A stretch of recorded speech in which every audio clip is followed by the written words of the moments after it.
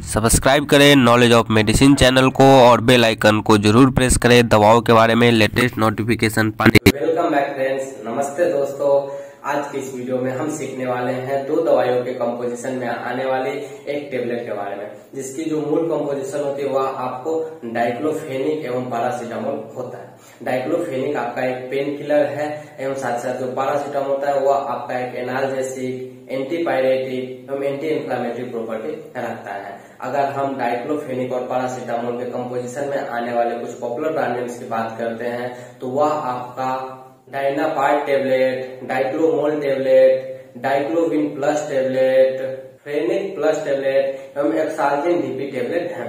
तो ये इनके कुछ पॉपुलर ब्रांड्स है, जिसकी जो मूल कॉम्पोजिशन होती है, वह आपको डाइक्लोफेनिक एवं पैरासीटामोल होता है। जो इसमें डाइक्लोफेनिक होती है, वह आपका 50 मिलीग्राम के स्ट्रेंथ में साथ साथ जो पैरासीटामोल होता है, वह आपका 325 मिलीग्राम के स्ट्रेंथ में अवेलेबल होता है। इस टेबलेट का जो मुख्यतः प्रयोग होता है, वो आपको पेन रिलीविंग के तौर पे किया जाता है। तो इसी प्रकार की महत्वपूर्ण जानकारी आगे हम वीडियो में सीखेंगे, जिनमें मेनली तौर पर हम फोकस करेंगे इसके यूजेज के बारे में विस्तार से। कि वह किस किस प्रकार की समस्या होती है जब व्यक्ति को पेशेंट को तब डॉक्टर द्वारा यह किया जाता है? साथ साथ जब डॉक्टर द्वारा टेबलेट प्रिस्क्राइब किया जाता है तो किस डोज में यह पेशेंट को हम दे सकते हैं?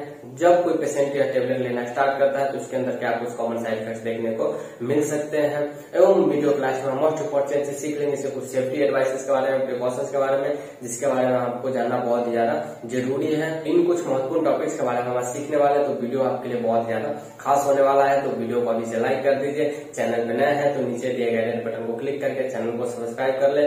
बेल आइकन को ज़रूर हिट कर ले ताकि फ्यूचर में आने वाले सारे वीडियो का नोटिफिकेशन आपको सबसे पहले मिले और आप हमारा वीडियो सबसे पहले देख सके। इस वीडियो को अधिक से अधिक शेयर करें ताकि जो वीडियो है किसी और के भी काम आ सके। यहाँ पर मैं एक चीज़ रिक्वेस्ट करना चाहूँगा दोस्तों कि 97 परसेंट लोग हमारे चैनल पर रेगुलर वीडियो तो देखते हैं, पर चैनल को सब्सक्राइब नहीं करते। तो आप चैनल को सब्सक्राइब ज़रूर कर ले बेलाइकन को ज़रूर दबा लें और इसी प्रकार की मेडिसिन से रिलेटेड वीडियो हर दिन प्राप्त करते रहे अपने नॉलेज को बढ़ाते रहे। तो मैं हूँ आपका दोस्त किशन। तो चलिए फ्रेंड्स शुरू करते हैं।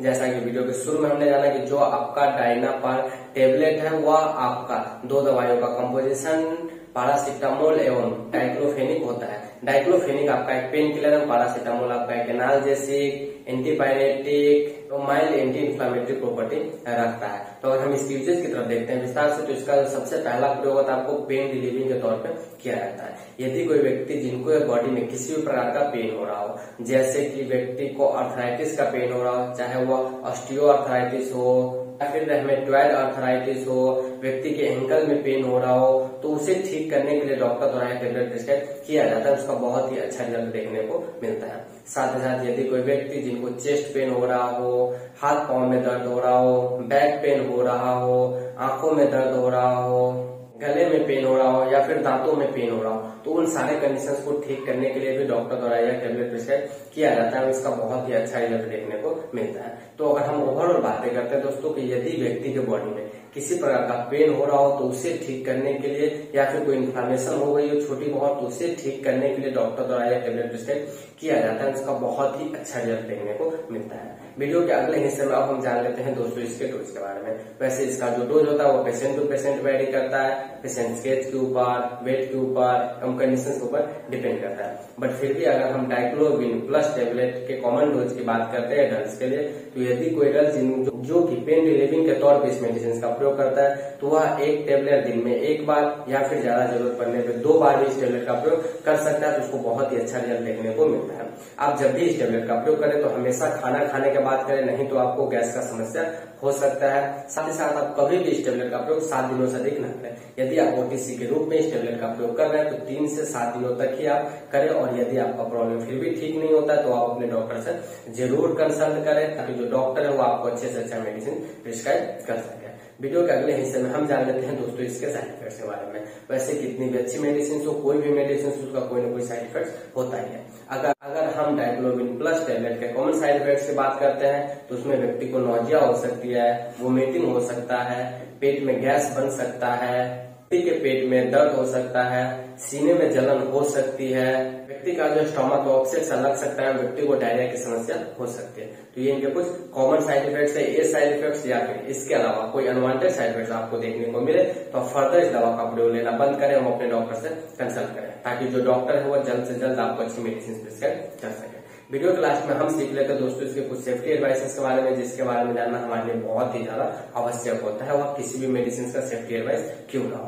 तो सबसे पहले आप यह ध्यान रखें कि यदि कोई व्यक्ति जो कि डाइक्लोफेनिक से एलर्जी रखता हो या फिर किसी भी एनएसआईडी ग्रुप की दवा से एलर्जी रखता हो तो उसे हम यह टेबलेट प्रिस्क्राइब नहीं कर सकते।